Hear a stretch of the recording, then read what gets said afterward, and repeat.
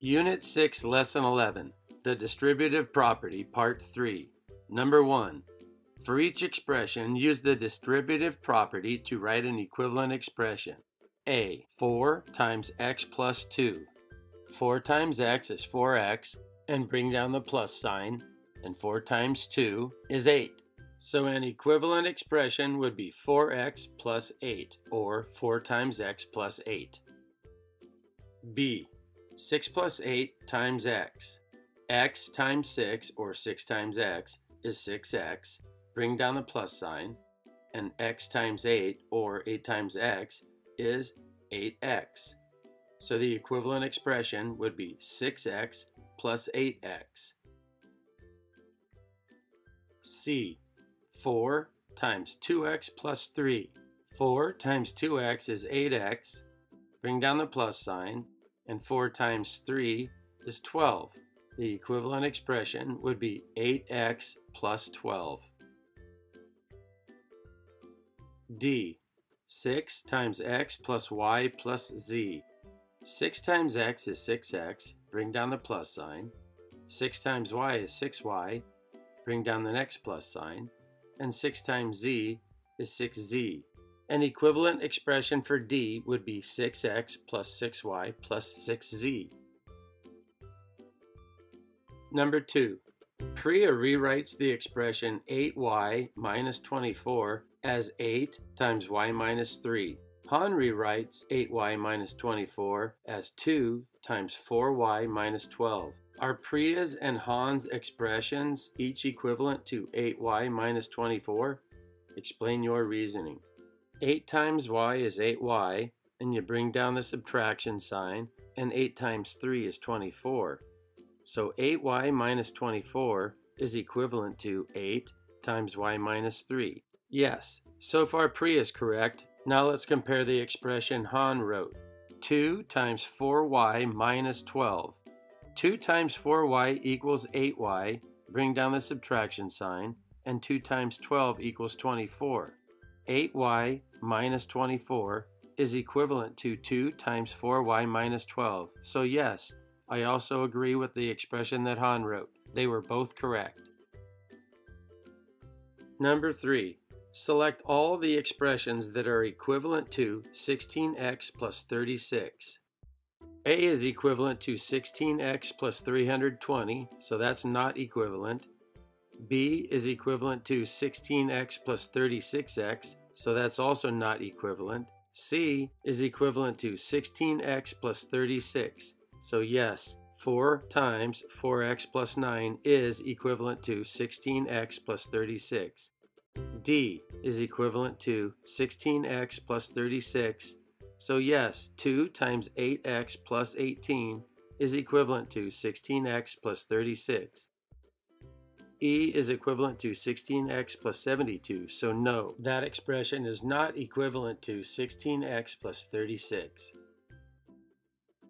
Number 4. The area of a rectangle is 30 plus 12x. List at least three possibilities for the length and width of the rectangle. We can start with the expression 30 plus 12x, and 30 can be broken down to 3 times 10, bring up the plus sign, and 12x can be broken down to 3 times 4x. Make sure you include the x. Let's make our second equivalent expression. 30 plus 12x can be broken down to 2 times 15 to make 30, bring down the plus sign, and 2 times 6x to equal 12x. Let's make our third equivalent expression. 30 plus 12x can be broken down to half of 60, because half of 60 is 30, bring up the plus sign, and half of 24x because half of 24x is 12x. Number 5. Select all the expressions that are equivalent to 1 half z or half of z. A. z plus z. That equals 2z, so no, that's not equivalent to a half a z. B. z divided by 2. Well, z divided by 2 is equivalent to half of z, so yes. C z times z. z times z is z to the second power or z squared. So no, that's not equivalent to half of z or 1 half z. D. 1 fourth z plus 1 fourth z equals 2 fourths z, or 1 half z. So yes, 1 fourth z plus 1 fourth z is equivalent to 1 half z. E, 2z. 2z is not equivalent to half a z. The expressions that I selected that are equivalent to a half a z or 1 half z are b and d. Number 6, a. What is the perimeter of a square with side length 3 centimeters?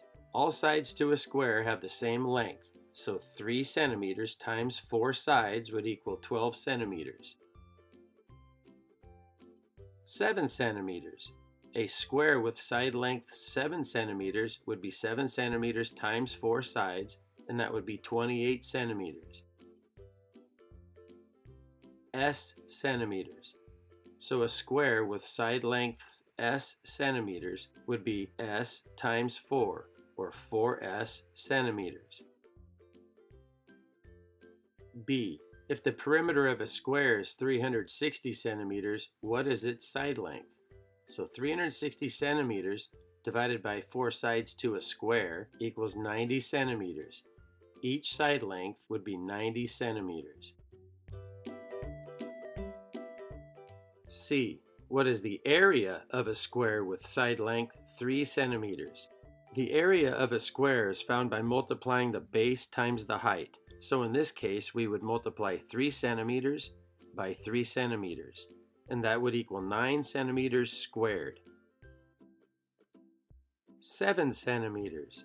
The area of a square with side length 7 centimeters would be base times height, or 7 centimeters times 7 centimeters, which would equal 49 centimeters squared. And what that means that inside that square that's 7 centimeters by 7 centimeters, you would find 49 squares, and each of those 49 squares would measure 1 centimeter by 1 centimeter. The area of a square with side length s centimeters would be s times s, or s squared, centimeters squared. D. If the area of a square is 121 centimeters squared, what is its side length? To find the area of a square, you need to multiply its base times its height. We have an unknown base and an unknown height. But we do know that a square has side lengths that are all equal. So what number times itself equals 121? That would be 11. 11 times 11 equals 121. So the side length of this square is 11 centimeters. Number 7. Solve each equation. A. 10 equals 4y. That can be rewritten as 4y equals 10. Since I'm solving for y, I need to get the y by itself. So 4y divided by 4 equals 1y, or y. I need to do the same to the other side. 10 divided by 4 equals 2 and 2 fourths, or 2 and a half. y equals 2 and a half, or in decimal form, 2 and 5 tenths. B. 5y equals 17 and 5 tenths. Again, I'm solving for y, so I need to get it by itself. 5y divided by 5 equals 1y. Now I need to do the same to the other side. 17 and 5 tenths divided by 5 equals 3 and 5 tenths. So y equals 3 and 5 tenths.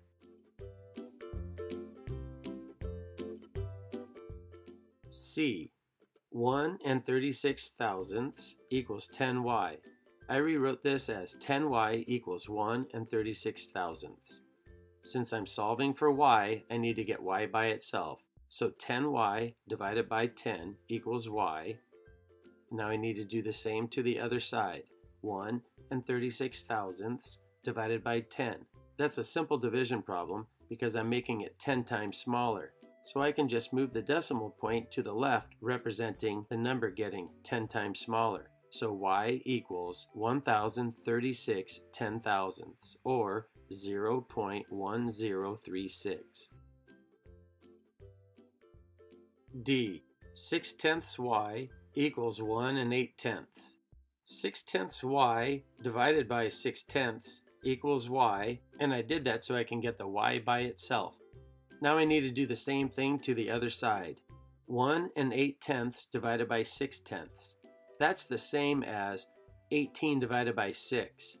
And the trick that I used there is I made the 1 and 8 tenths 10 times bigger and made it 18.